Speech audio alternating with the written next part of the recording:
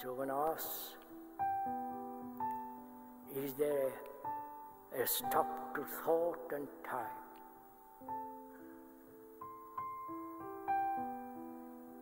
Because if there is time, that is, if there is thought,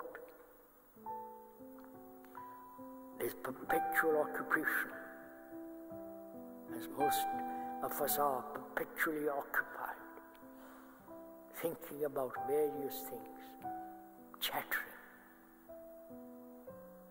Mind is never, the brain is never quiet.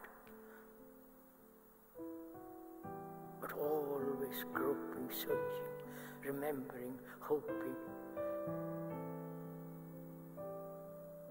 Such a mind, obviously,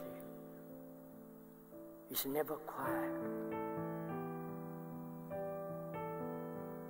But to perceive that is not quiet, without any direction, say it must be quiet, to perceive it, to observe it's not quiet, then that it becomes extraordinarily quiet.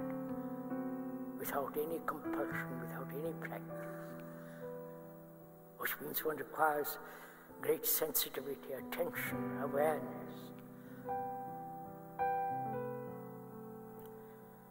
Only in that absolute silence of the mind,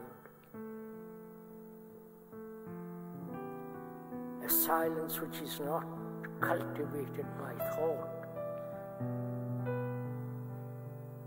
It isn't a silence between noise, between two noises or between two thoughts. Silence is not that. Silence demands total freedom from all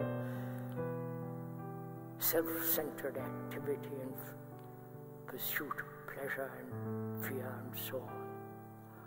Only in that silence completely can there be that which is nameless.